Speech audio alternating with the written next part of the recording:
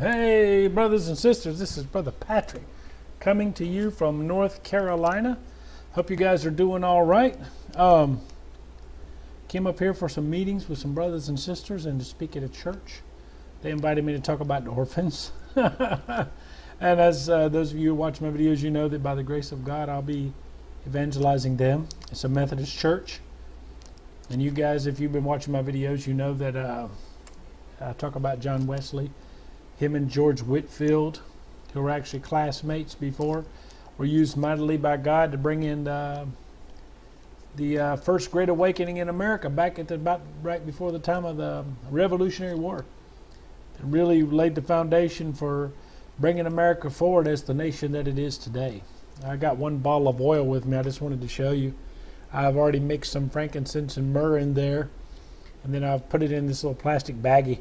I was just laughing because when I bought these plastic baggies at Walmart, they probably think, I mean, who else buys them? They call them pill bags, you know, thinking it's probably, you know, think you're some kind of a drug dealer when you're buying these little plastic baggies. But anyway, I bought these little plastic baggies to put the oil in, and uh, I've got some. Uh, there's a sister who made me some labels. I'll be picking those up tomorrow. Then I'll put little labels on there. It's got my email address and stuff. So, uh, in the website, I'm going to make a page on um, the website uh, for the Church of the Firstborn and Joshua's ministry, uh, the website, not the Facebook group, and uh, with instructions on different kinds of prayers for right now, brothers and sisters. The Bible in James chapter 5, you know, because lots of people, most people who watch my videos, they haven't read their Bible. And so I have to repeat it uh, uh, to make sure, uh, because there are people that are like, well, what's up with anointing with oil? As an example, you know, the Catholic Church they have this holy water and all that. Well, that's not biblical. In the Old Testament, they actually used an, an anointing oil uh, in the temple and all that. And then in the New Testament, James chapter 5, which we are in the New Testament, we're in the church age, James chapter 5, it says, uh, and I believe it's verse 16 along in there, it says, you know, is there any sick among you? Call for the elders of the church, anointing them with oil in the name of the Lord. And the prayer of faith shall heal the sick. So they anointed them with oil. Now, this anointing oil that I'm using, of course, is the tradition. Of course, olive oil is what they use in the Bible. Olive oil is what is in the Middle East. And then frankincense and myrrh are two of the things they used on the you know they gave to the Lord. The uh, and I've done videos about that. Of course, frankincense is in like incense that they used to offer up, you know, the incense there in the temple, sweet smelling savor unto the Lord. And then of course myrrh is used when, from dead people for embalming. I made video about that for Christmas, probably 2011. I think it was a YouTube video in 2011. Should we celebrate Christmas or not? Along in there, and I talked about wise men still seek him. And I talked about the frankincense, myrrh, and gold that the uh, that the three magi brought to honor the baby Jesus when he was a baby. And uh, as a matter of fact, I talked. You know, he was about two years old at the time, not when he was a newborn. It was when he was about two years old uh, that they actually came there. He was in a house at that time, not anymore in the manger, but in the house. Anyway, um, the frankincense, as I said, represents the prayers. Myrrh represents, you know, to be dead. Uh, they used it for dead bodies. That's why when they came to the Lord, I'll just mention it as I started talking about it. When Jesus was a baby, they came there and they offered him gold, representing he's a king. Frankincense representing that he should be worshipped. The frankincense represents, you know, they would they burn the incense, like in the Old Testament when they go in there and offer it. Uh, it represents the prayers of the people.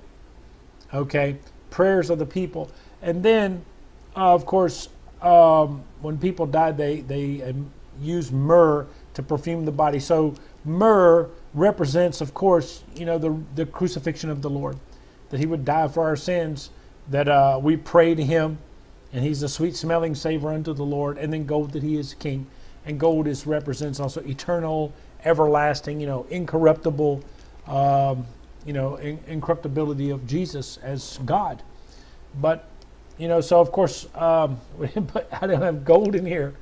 But so I have the olive oil representing the Holy Spirit. Olive oil is the traditional oil used in Israel. and what was used when they anointed people. I'm sure that's what they're using. Uh, you know, historically, we know they were using James chapter 5, anointing them with oil. They're talking about olive oil. And uh, there was no canola, no canola oil then and no Crisco oil. So uh, it's olive oil, then the frankincense and myrrh, brothers and sisters. And this is the first one. Uh, I'm looking to give one of this, uh, give these to the people that I'll meet while I'm here during this time. Uh, this is the first batch that I've been praying over, and I just wanted to test my uh, mixing and test, uh, you know, doing it all.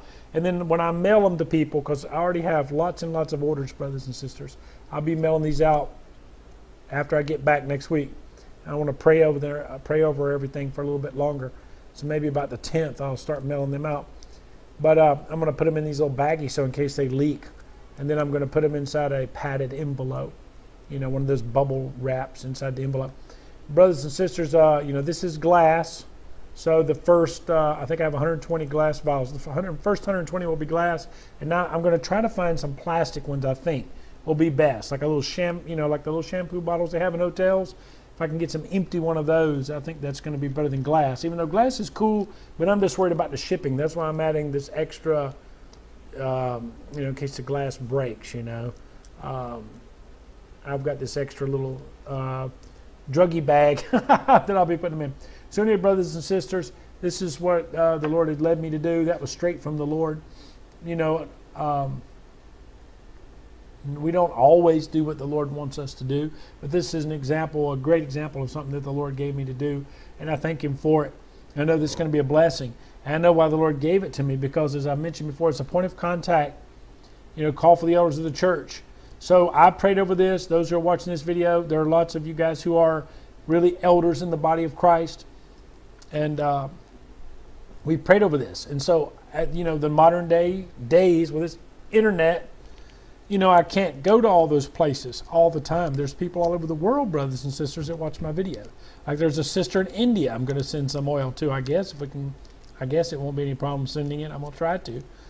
Uh, I assume it'll go through. Um, people all over the world, brothers and sisters, that praise God through the internet. God has used me to pastor people in all over the world at the same time. It's awesome. But you know, it's kind of a hindrance because I can't be there and physically pray with people. That's to me is why the Lord wanted me to do the oil. That's what it's all about. It represents revival. It represents the prayers of myself and, and those of you guys who are elders who have prayed over this, and all the people who have prayed with this. You don't have to be an elder. All of you guys who have prayed in agreement with me, sometimes like a thousand, two or three thousand people, pray for this oil. That's more than you're ever going to get in any church unless you go to a you know a mega church. You know, um, so you know God is outside of time. He's outside of distance. He's outside of place, and this represents our faith. This is our faith in, in, in oil. Our faith, our trust in the power of God. That's what it represents, brothers and sisters. It's a point of contact. Even in the Bible, as Paul, you know, he had these handkerchiefs. Paul was working. He couldn't go see the people, so he would touch handkerchiefs, pray over them, send them out, and they would touch people with them, and they'd be healed. Now, I saw there's some guy on TV that was doing that, a TV preacher. He was doing that. And then um, now I don't know about that guy. You know, there's some you know scam people everywhere, and it, you know, not, besides the point whether that guy is a man, a real man of God or not. Let's put that aside. Let's just say that there are people who are saying, uh, um, pastors. I heard them talking about it on some other Christian TV or on YouTube. Pastors of churches who are definitely not Pentecostal pastors, and they were saying, "Oh, this is unbiblical." Yet, well, it is biblical because that's what Paul did. And the Bible says that even the shadow of Peter healed people. So, what is it? It's that Peter's walk with the Lord was so great at that moment, at that time. He walked with the Lord so greatly that God honored him and God manifested his power and showed himself strong through Peter to say, hey, listen, Peter's speaking for me. Peter's a great witness of mine. He's telling you what he's saying is the truth. Signs and wonders to confirm the gospel. So we need confirmation of the gospel today just as much as they did in biblical times. You know, there are people who say they're Christians, who have a form of godliness but deny the power thereof.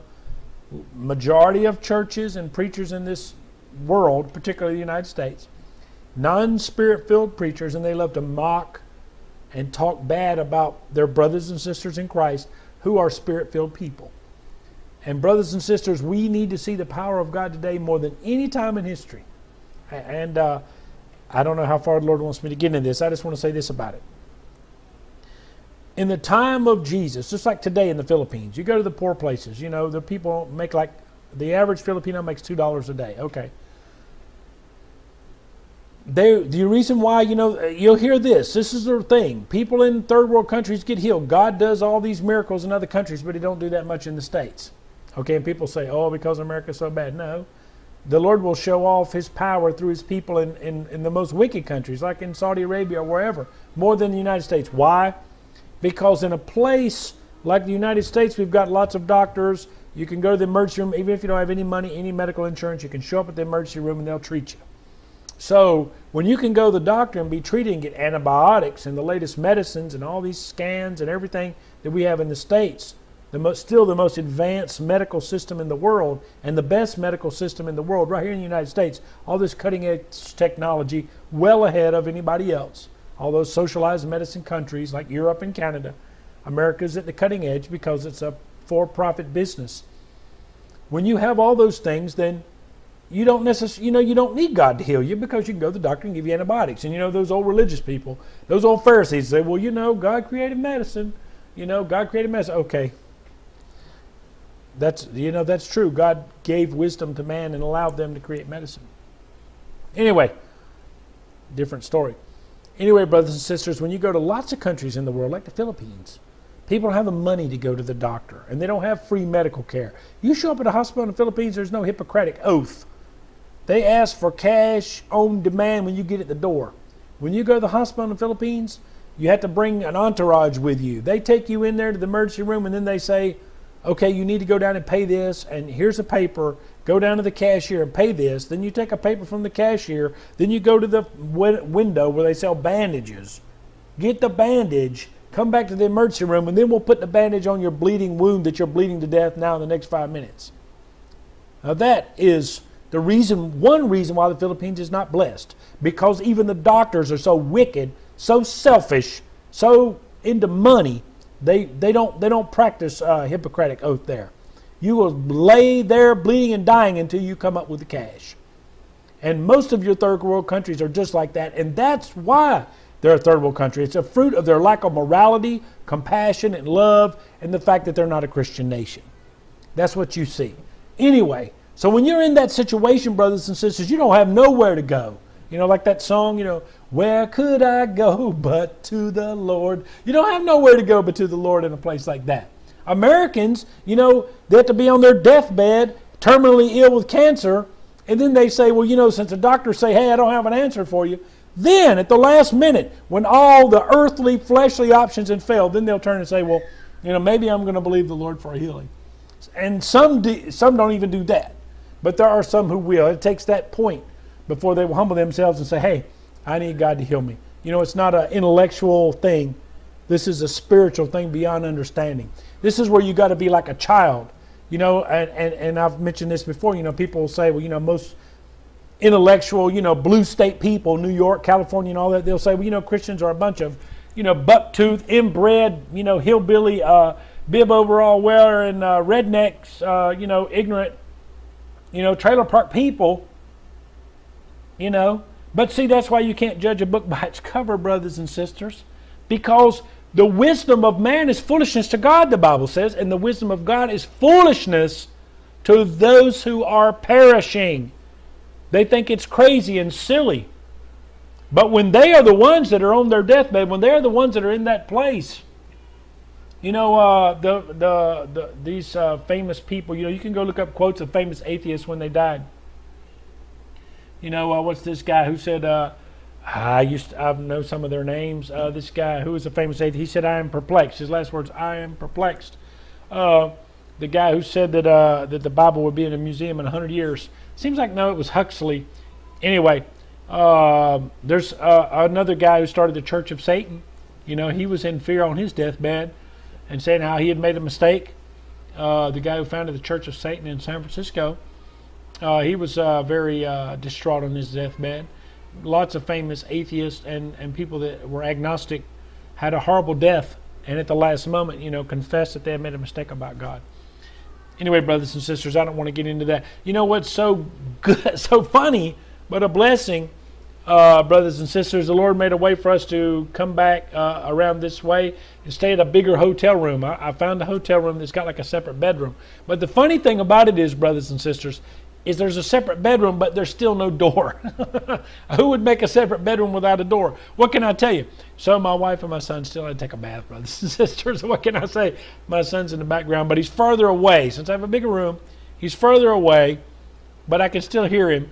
Uh, but it's not that loud. So praise God. you can't win, right, brothers and sisters? Uh, you know, uh, it's um, the life of serving the Lord has its great parts and its funny parts and its you know distracting parts, and that's how it is when we serve the Lord, brothers and sisters. So, I just wanted to tell you guys that uh, I'm about to be finishing up praying for this oil.